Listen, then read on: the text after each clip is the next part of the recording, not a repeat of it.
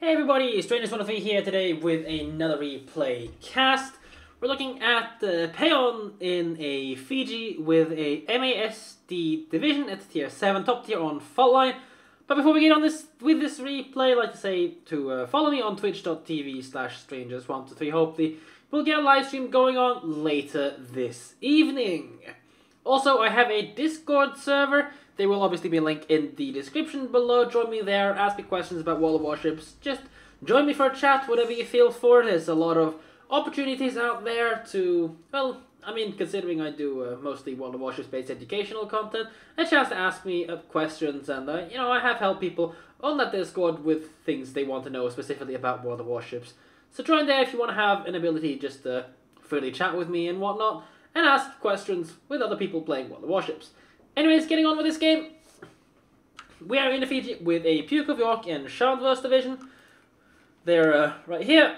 Looking at the spawns, Scharnhorst over there, and uh, a bunch of cruisers over here. It's kind of normal. Battleships tend to spawn like here and here, so uh, from the northern side, the southern side has like a tendency to get one battleship maybe here sometimes. It's like the spawns are a bit imbalanced on this map. In all fairness, what's also imbalanced? They get a Fubuki, they also get a Belfast, so they basically get radar smoke plus destroyer, which is a major disadvantage for us. And it looks like we're actually heading towards Bravo. Not a bad decision overall. We do need to be careful though. If the enemy Fubuki is smart, the Fubuki will go to B because, you know, just knowing that we don't have a destroyer can outspot everything trying, can easily get himself out of the way. There's also no Belfast to uh, sudden radar. As you can see, we have no radar available on our team whatsoever. So the enemy Fubuki has a major advantage going into B. In fact, if you know, she's contesting B. We're going to be from uh, this area. We're going to be getting spotted. Coming in here, we're also going to be getting ourselves spotted. It's incredibly unlikely that we would, like, if we push, uh, we'll push in towards here and hope she spawned over there, or pushed in this direction and hope she spawned up there to put this island between us. But, like, what are the chances? It's, it's really low. Anyways, we do spawn enemy Scharnhorst crossing, but uh, we need to be careful as we're starting to enter this cap. We can also spot enemy cruisers there and there. We need to be careful of the Belfast because, you know, Belfast 8-7 concealment us 9-8, I think. Yeah, 9-8. So we need to be careful because, uh, you know, Belfast do outspot us. And if the Belfast does decide to push into, like, this kind of an area and, you know, spots us first, smokes up, and we push into the island, we're going to get find ourselves likely getting radared, and thus would niche be so good. Anyways, spoiler luck, Belfast over there. Looks like is there as well because that Belfast isn't in the cap yet. So that's pretty nice to know. I wouldn't open fire right now. I would make sure we stop and then... Ooh. I wouldn't open fire first. I would smoke first, then open fire. Because as we can see, there's still half a minute left of the cap. By the time people swivel turrets around to engage us, there's going to be like... And get shells on target, there's going to be like 10 seconds left on the cap. And that's bad because if we get shot and reset, we need to stay here for a lot longer than we really might necessarily want to or hope. I think that's a little bit shot under, so I think that's not really going to hit the uh, the stewards. It was slightly under, there we go. This should be a lot better, but then I think the George is accelerating, so I think this is just gonna miss. Or at least be uh, reasonably ineffective. He turned around, so uh, there you go. Didn't really achieve much. Looks like we're shooting the next. Normally, if you want to keep situation awareness, don't don't do the scroll wheel stuff. Let me just take control. Let's say, for example, you know, you're like this. You know, th this is the view you want to have full awareness. Press just press shift, because if you're doing the scroll wheel, you can see it, it takes time, get in, and then you know and whatnot, scroll out. It takes a lot of time, so honestly, you're better off just uh, trying to uh, press the shift button or whatever button you've bound to the view, just so you can uh, get yourself back out of the uh, the zoom camera, the binocular view, and get yourself into the good old uh, proper camera view that you kind of want to have. Regardless, settings of Fish is Armor group. I mean, the Armor is unlikely to take any of these, and even if, you know, armor is coming. We need to be careful because we have like five and a half kilometers uh, detectability range firing through our smoke, so we don't have much more of a buffer zone to go with. What we're doing now is reversing. Is kind of the a reasonable move to make. Reverse and then angle ourselves so we can go forwards again. Try to stay inside of the smoke if possible. Allied Emerald is approaching. There's no way that Armor got himself in range to torpedo us, so that's at least something nice there slightly underled, and we're skidding out of the smoke. Something we need to be careful of. Very, very bad move over there overall. This could get us really yeah, quickly punished. That's never going to do much, because the Scheiss now is... Uh, Scheiss now? Is trying to accelerate forwards. And, I mean, he, he basically just needs to hit us, and he's going to lol pen us, because, you know, 13 millimeters of armor. So that's overall pretty bad. Our smoke's starting to expire, but, ooh, spot of luck. The Emerald deploys his smoke Personally, I would just heal right now because uh, we're not really getting much holding on to the heel. I mean, I don't know the exact uh, value of the heal. Steelers, however, gets himself stuck on the island. That's not going to. Uh, that's unlikely to find itself doing much for us. The guy's likely going to try to reverse. That's under lead. There you go. Much better, but uh, actually we get this. But We got a spotter locks. That's one citadel to pick up the kill with one full pen. So uh, that's actually that's actually really nice because if we hadn't picked up that kill, then you know he would live a little bit longer, keep spotting stuff, and I mean picking up a free kill like that, despite not having the best salvo in the world ever, we at least get ourselves a good chunk of experience for ourselves to grind through the Fiji, or you know to build Captain XP or whatever we're trying to do. Regardless, with the Emerald Smoke here, we can sustain ourselves for a little bit more, triggering a Hydro, worried about the Fubuki that we knew was somewhere around a good move overall.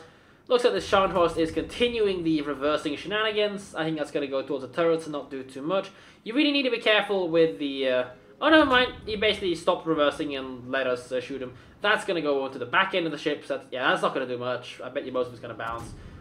Two full pens. One of them... Uh, well, actually, both of them were saturated. That's going to go towards the gun turrets. That's unlikely to do much either. There you go. One full pen of uh, damage.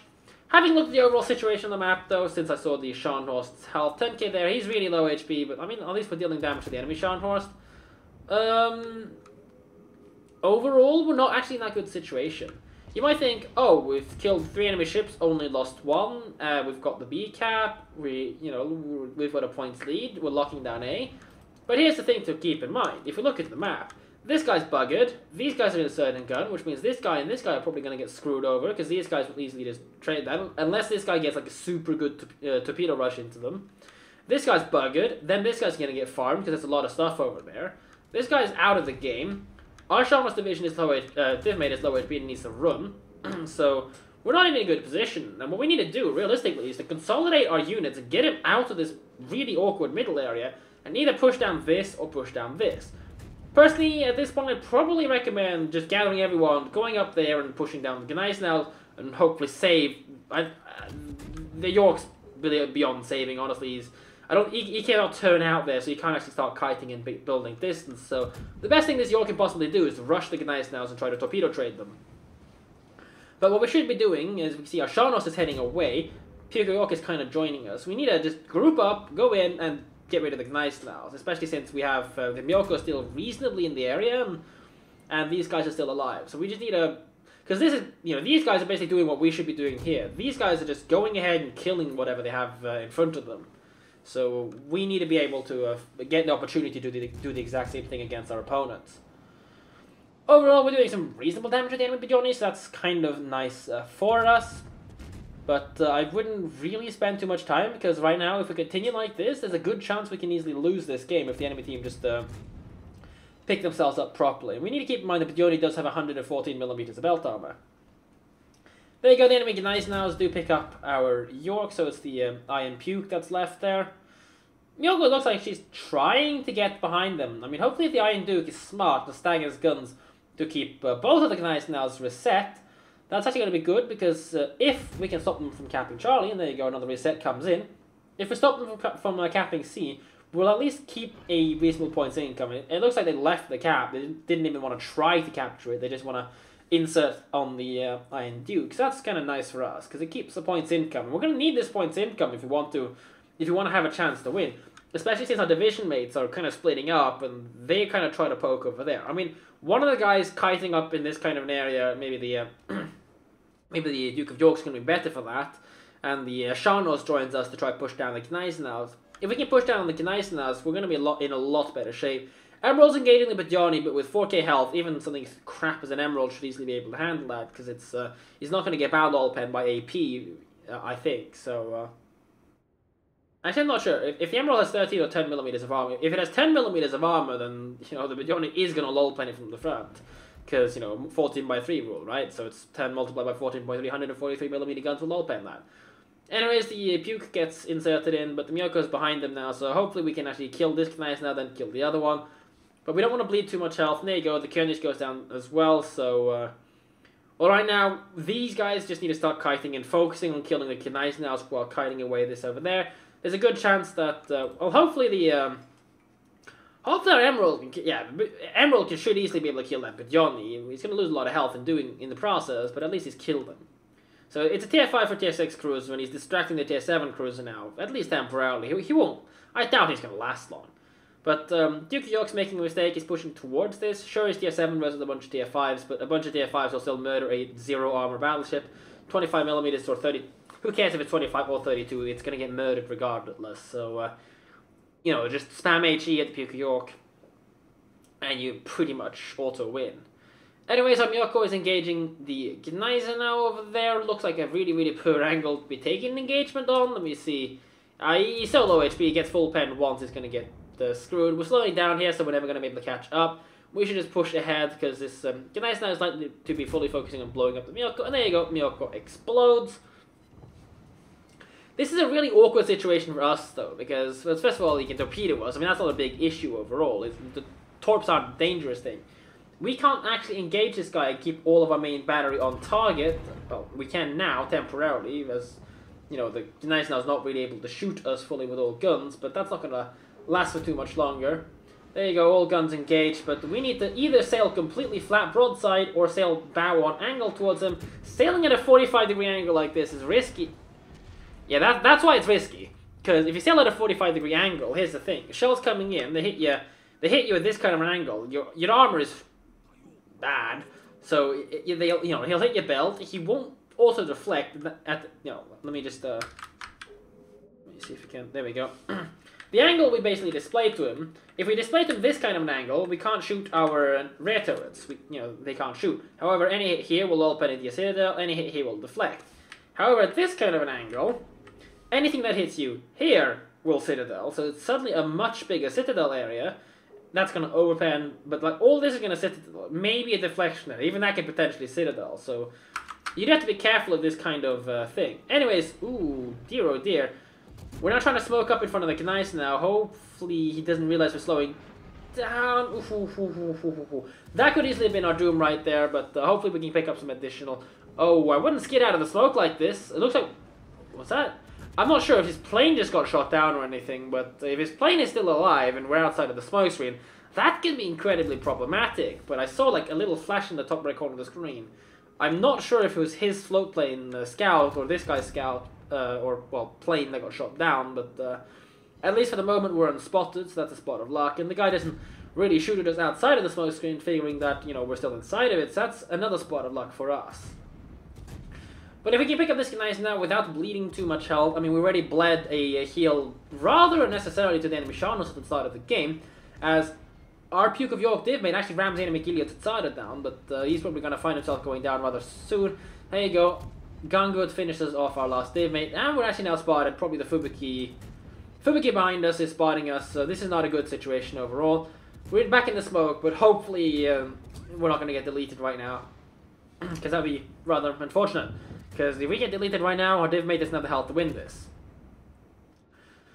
So yeah, uh, he's enemy. You know, Gneisenau angling. We kind of need to shoot at his uh, the top of his superstructure. The uh, no 16 millimeters of standard armor, which is uh, it's not lull penable, but the um, you know high pen angles of the Royal Navy cruisers does give us the uh, well the, the opportunity if you want to engage that. Using a heal there, half of it's kind of wasted, but again we're so low HP that it's better just to use that heal there than to die with one heal remaining. So yeah, we only have one heal left after this. Regardless, pushing out, so mm, there we go, spotted. We're probably be a little bit too early on this push out, I'd say, because our Shanros is not really ready to move yet, so we kind of need to just tuck ourselves behind this island over there. Otherwise, we're just going to get shot at and bleed health unnecessarily. We still have two smoke screens, but I, I think basically this game's going to be decided on the results of the next smoke screen, I'd say, because we're just so low HP over there. The enemy team would have to screw up royally to be able to throw this, because they pretty much just, well, throw and throw. They, have a bunch of tier 5s and a tier, uh, you know, 5, well, actually they have two tier 5s, a tier 6 and a tier 7, but, uh, most importantly, they have a Fubuki that's still alive, and he can spot, he can torpedo the Scharnhorst, he can uh, just lock down the caps and prevent us from obtaining it. For the moment, we still have a bit of a points advantage, simply due to the fact that we own Bravo for a lot longer, but oh dear, Insta Smoke. I would Insta Smoke right here, sitting here and trading Myoko like this is not good, but actually hydro first we catch the Fubuki. I would immediately focus on shooting the Fubuki. That's aim way too high, he's going to angle out, so that's just not going to... Yeah, a bit unfortunate we don't actually pick up the kill on there, but we're smoking already, so we're not going to be able to aim the shot. That's not going to hit anything at all. Useful, torpedoes incoming. We need a reverse out of this, but the second salvo was rather poorly aimed, and the Myoko almost picks up the kill against us. We need to immediately use our heal there. Hopefully we can pick up some good citadels against the Myoko's... Uh, 10, I think, I'm not actually sure the exact armor, but I think it's either 10 or 10.2 centimeters armor. Japanese ships, we don't use inches for that. Pick up a good chunk of citadels against this guy, leaving him very low HP. Hopefully our Shanos division mate can pick up the kill against that. That's slightly underled, and the island looks like it uh, ate all of that, which is a bit unfortunate. But our div mate picks up the kill. And we even shut down the plane, so if uh, nobody's around to spot our div mate, and I wouldn't be poking out like this, uh, we're over poking a little bit, Thankfully, Gangut really doesn't know how to shoot. dropping torpedoes on Gangut, I would focus main battery on killing the Königsberg, just eliminating enemy ships, and I would make sure that we start reversing. We definitely, this game, need to... Uh, if there's anything uh, to pick up on improving, it is definitely management of the speed. We overskidded way too far ahead over there. And now that our, uh, our Scharnhorst not having a plane online, he had a scout plane, a float plane spotter plane, so he's not going to get his plane up until another 30 seconds, I think if he's that is of course making the assumption he's running premium consumables. But uh, with nobody to spot, we just need to back ourselves out of the situation and be aware of the Fubuki. Uh, smoking there, like smoking late in there, was a bit of a mistake because uh, we put ourselves at additional risk. But granted, the Fubuki being there and permanently spotting us wouldn't have mattered. So uh, the in hindsight, the correct decision would be to wait another two three seconds before spotting, kill the Fubuki, then smoke, Granted, chances are we're going to find ourselves getting exploded, and of course instantly heal there. But um, the, realistically, the, you kind of would have wanted to insta smoke the moment the Myoko was spotted. Fubuki gets spotted behind us, uh, pretty much relying on a secondaries to kill the guy here. He double fires us with his guns, but we actually pick up the kill with a secondary, so that's a, a secondary close quarters expert Confederate high high caliber this time for us. One more kill, we get ourselves a Kraken. Well, cracking result overall, but dear oh we have an Oktyabrskaya Revolutsiya in our face, and of course with the very high chance of Fubuki torpedoes. What? Wow. Just, just wow. He's never gonna sell into that. You kind of would have, uh, you would have wanted to aim them more like uh, this kind of an area, just uh, you know a little bit less uh, distance, because there's no way he's gonna sail full speed ahead into the Scharnhorst and sail into our fish, right? But uh, right now, we should hopefully get our smoke screen up. We need to make sure we stop and drop because if we get any closer than this, any closer to, to, to the 2 kilometers, we're going to be permanently spotted. Gangut makes a massive mistake. One, gets himself stuck, and uh, two, doesn't try to get closer to us. Because at least getting closer means that he can secondary us to death, and he doesn't even memorize the position. You just shot this area, the ship's not there, you might want to like shoot somewhere else, like behind or in front, you know, try to bracket a bigger area. You know, it was uh, the target was low HP, of course. Granted, the heal could have been a possibility. I would uh, launch widespread right now instead of launching all three torpedoes on the exact same spot.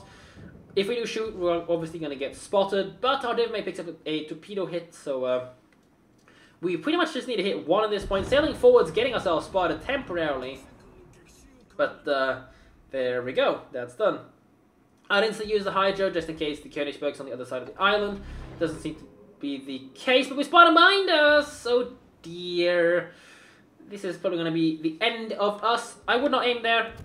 Lead here, lead here. You can shoot him in the back tower and get a citadel there potentially, but uh, you can see as we shot all of it into the belt, we only... Uh, well, we didn't even aim the world's best there, so we don't pick up too much damage, and we go down ourselves. But killing the Gangut did give us the Kraken, so overall a very, very good result there. And it looks like a division mate should easily be able to just go around the corner, inside gun, and kill the Königsberg, because he's going to be under the 20 seconds of penalty because he fired at us uh, through the smoke screen, and he was too close. And there you go, shells in the air, shells going out to target, and there goes the Königsberg. Overall, very a lot of lot of, of lot of risks taken that could easily have been the end of us and the end of the game. We overall in the division bled way too much health in the beginning with Bravo, pushing into the middle is rarely a good idea, especially in a rather tier 7 heavy game like that. Three top tier battleships, and I think three or four top tier cruisers as well. Especially in a, in a game where there's no real destroyer threat. Uh, it means, you know, torpedoes you can kind of try to dodge. I mean, if you get bad luck with dodging torpedoes, or, you know, the enemy kind of, um, you know, predicts your move correctly and you get screwed by that. And granted, you well, you're gonna get screwed and you're gonna die. But uh, if you don't actually get punished by torpedoes, uh, you know, with more cruisers that are shooting at you, you bleed a lot more health a lot faster. So overall, you kind of lose your ability to sustain into the late game. And in a game like that, it's about being able to try to gang up and gank on enemy uh, individual fleets in that kind of a situation, which is kind of the opposite of what we did. We kind of split up a little bit in the end, but we should have tried to con- uh, consolidate our forces and just kill off the enemy tier 7s or the Group 1A, though granted killing off the tier 7 is going to be easier because they don't have an invisible destroyer that's going to be constantly throwing fish your direction. But yeah, we kind of uh, threw away, in a way, the Duke of York in our division for not real much of a gain. I mean, he traded down the Giulio but uh, at least that's something. But if he just kited, because I don't think it used too many heals, and I don't think he, you know, got the chance to expend too many heals overall either. So if he just uh, kited, spam some HE, because a kiting Duke of York is still fast enough to avoid a Fubuki, you know, Fubuki's torpedo launch from, uh, you know, close range. The Fubuki would still have to get into spotting range of the Duke of York to actually be able to, uh, to uh, torpedo that without, you know, the Duke just simply outrunning the Torps. So it's something to keep uh, in mind. But yeah, other than that, uh, individually, we need to be a lot more aware of our movement, especially inside a smoke screen. We had multiple cases where we scared it out. Although in the end, against the Gneisenau, when we have smoked up, um, not in front of his, well, pretty much in, you know, next to his face, in the uh, near the Charlie cap, um, that smoke screen, skidding out of it wasn't too big of a problem because we didn't get punished for it. But uh, we easily could and kind of should have been punished for the moves. Secondly, if you're gonna, you know, if you're being shot at by a battleship and you're not in an Neptune or Minotaur, Witherall or, you know, Emerald, but um, these things don't really have that big citadels. So either you angle to him properly so that you can try to deflect stuff in the belt and hope he doesn't shoot you in the bow. A lot of people don't know how to shoot like uh, targets that are kind of trying to bow tank at full speed, especially that kind of close range when you're just advancing slightly slanted. A lot of people don't know how to shoot properly. So yeah, you, either do that or you sail completely broadside and hope they overpen you. And remember, it's uh, I think 13 millimeters of standard armor, which is basically all the armor that isn't your citadel. So chances are, especially with the German battleships with the high velocity flat arcs, they're gonna have a hard time actually hitting your citadel. However, if you angle like you did, they have a much higher chance of wiping you. You're exposing a bigger area of your citadel that is vulnerable to being citadeled, and you're exposing parts of your ship that would not previously have been citadeled that now also can lead shells into your citadel. So just be aware of your angling and your movement inside smoke and outside of smoke, and try to work on that so you can perhaps bleed a bit less health, because we did lose the first heal to the Sharnos rather unnecessarily, having reversed ourselves out of the smoke screen. But yeah, I hope you guys enjoyed this replay cast. And I'll catch you guys hopefully on stream, twitch.tv slash strangers123. Otherwise, King of the Seas tomorrow, perhaps you'll be watching that. I'll be uploading highlights and uh, probably even a esports style re-commentary like I kind of enjoy.